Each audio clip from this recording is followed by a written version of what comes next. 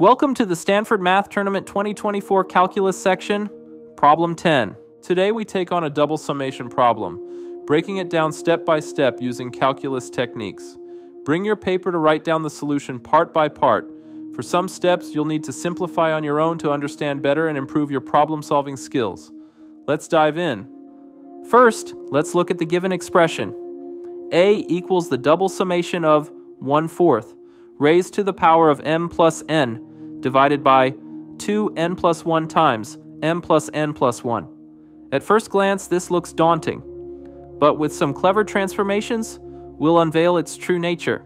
Step 1 Rewriting the summation. By factoring and restructuring, we express a as a equals the summation of 8 times 1 half raised to the power of 2m plus 2n plus 2, all divided by 2n plus 1 times 2m plus 2n plus 2, this hints at an integral representation, setting the stage for a more intuitive approach.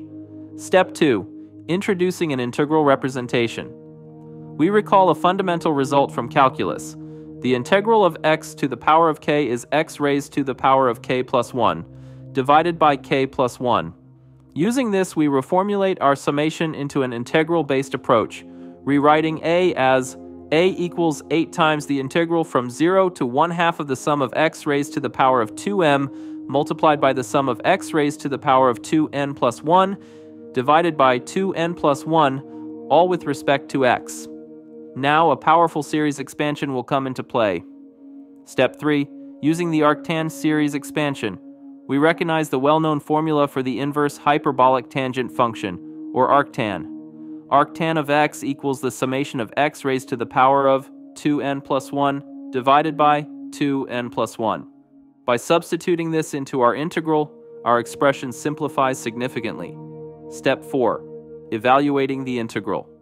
Now, our integral takes on a new form. a equals 8 times the integral from 0 to 1 half of arctan of x divided by 1 minus x squared with respect to x.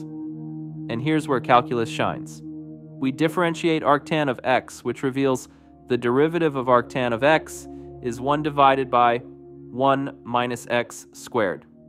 With this key insight, we can now evaluate the integral efficiently. Step 5. Substituting and solving. Rewriting our expression, we find a equals 4 times the square of arctan of x, evaluated from 0 to 1 half. Plugging in the limits, we uncover the final result a equals the square of the natural logarithm of 1 plus x divided by 1 minus x, evaluated from 0 to 1 half, which ultimately simplifies to a equals the square of the natural logarithm of 3. Final answer, natural log of 3 squared. And there you have it, the solution to this challenging problem. This problem beautifully demonstrates how summations, integrals, and series expansions intertwine leading us to a satisfying and elegant result. I've solved and published all SUMAC 2022-2023 solutions, something never done before. Whether you're preparing for advanced math programs or competitions, I offer personalized classes to take your skills to the next level. Reach out now to book your spot.